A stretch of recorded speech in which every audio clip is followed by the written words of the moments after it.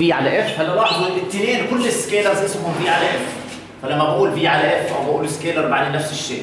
شو يعني V على F كل اللي بيعمله هذا الجهاز بحافظ على ratio بين V و F constant تقريبا constant V boost راح نحكي عنه بعدين.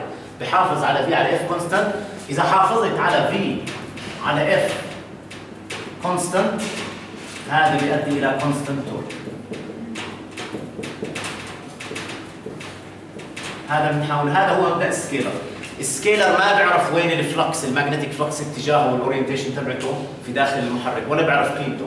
بركز بس على فكرة إنه هو ال voltage اللي بحطه على أطراف المحرك هون وال frequency اللي بحطها هي constant هلأ النوع الثاني اللي هو type 2 scalar drive V على F بدنا نحل مشكلة ال power factor اللي هون. حتى نخفف من مشكلة ال power factor متذكرين ال power factor بيعتمد على cosine الفا أنا راح أخلي ال alpha zero إذا خليت alpha zero معناها شو حولت ال drive؟ ل uncontrolled uncontrolled فراح عندي هذا وراح هذا وهذا وهذا. وتحول هذا صار constant V من هون constant V هلا ال V بغيرها بعدين بطريقة ثانية بس هذا صار constant V يعني uncontrolled rectifier uncontrolled 6 pulse rectifier اذا هذا صار هلا بتذكرين واحد اثنين ثلاثة أربعة خمسة ستة بتذكرين هذا ال sequence بس أنا ما راح أعمل فارق. هلا الفا بدها تساوي zero؟ هذا uncontrolled 6 pulse rectifier ال voltage هون هذا راح يصير عبارة عن 6 pulse بس أنا حاطط capacitor حتى اعمل له شوي filtering فراح يخف ال pulse ال pulses من هون ال frequency اللي موجودة هون. وهذا صار عندي هلا هون constant هلا إذا ضليت على نفس ال scheme السابق هذا ما بتغير مش هيك؟ لأنه صار ال voltage من هون constant صف هذا هون بطلت أقدر اغيره صارت هذه هون constant إذا ضليت على step wave شو الحل؟ كيف بدي أغير الآن؟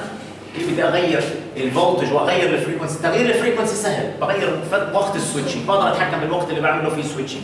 تغيير ال voltage راح يصير عن طريق ال PW اذا هذا راح يتحول ل PWM inverter ال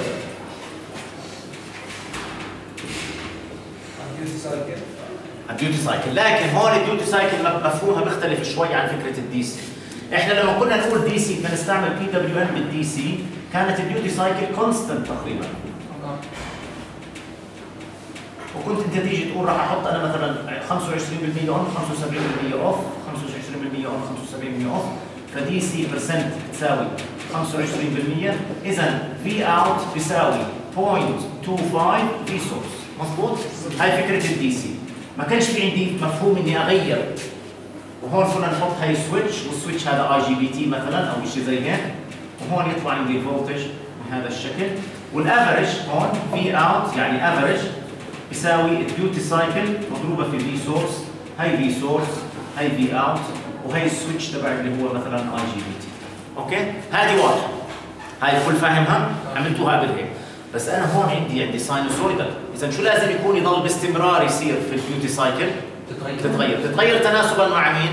مع ال sinusoid فراح ألاقي الآن إنه إذا إجيت رسمت ال waveform اللي بتطلع هون ما بتكون زي هيك.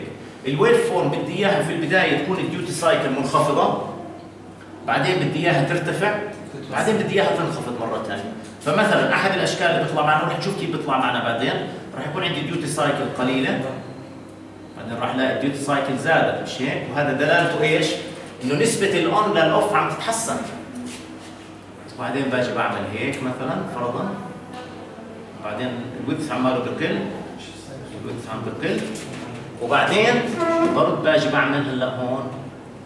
هذا طبعا اسمه unipolar switching رح ندرس فيه نوعين ولا اخذتوهم أخذتوا ال unipolar وال bipolar أنا هركز هلأ على ال unipolar switching unipolar switching معناها في single اي phase inverter راح يشتغل واحد وأربعة مع بعض ويطفوا ويشتغل اثنين وثلاثة مع بعض ويطفوا هلا بنفسرها بطريقة أحسن. من هيك خليني أحاول أشوف المساحة إذا بتكفيني. هون أقدر أرسم نفس الرسمة. وبعدين برد برجع بكمل. فإذا بتلاحظوا هون اذا إذا إحنا عرفنا ال duty cycle هي نسبة ال on لنسبة ال off واضح إنه ال duty cycle إيش عم بيصير فيها هون؟ فكأني عمالي برسم خط وهمي هون. كأنه sine كأنه sine okay؟ هون لها معنى إني أثبت ال duty cycle هون ما لها معنى إني أثبت ال duty cycle هلأ هذا هون لو إجيت عملت Fourier analysis على هذا رح اعمل لكم إياه رح نشوفه رح نعمل Fourier analysis على هاي ال signal. رح تلاقي إنه فيها fundamental وكثير من ال harmonics انعمل لها elimination كيف انعمل لها elimination بإني استعملت ال pulse width modulation اللي موجود هون. وفي عندي هون شيء اسمه carrier frequency كمان إذا متذكرينها من ال power electronics ال carrier frequency هي ال frequency اللي بحمل عليه. ال switching frequency هون شو صار فيها مقارنة بال step wave ال switching frequency هون هل هي لسه 50 هرتز؟ لا. ارتفعت. صارت هلا بتعتمد على هذا. وممكن أعمل scheme أحسن من هذا. ممكن أزيد ال PW بحيث إني أغير. هلا هون صار عندي بقدر أغير ال frequency إذا غيرت ال frequency بتغير هاي المسافة.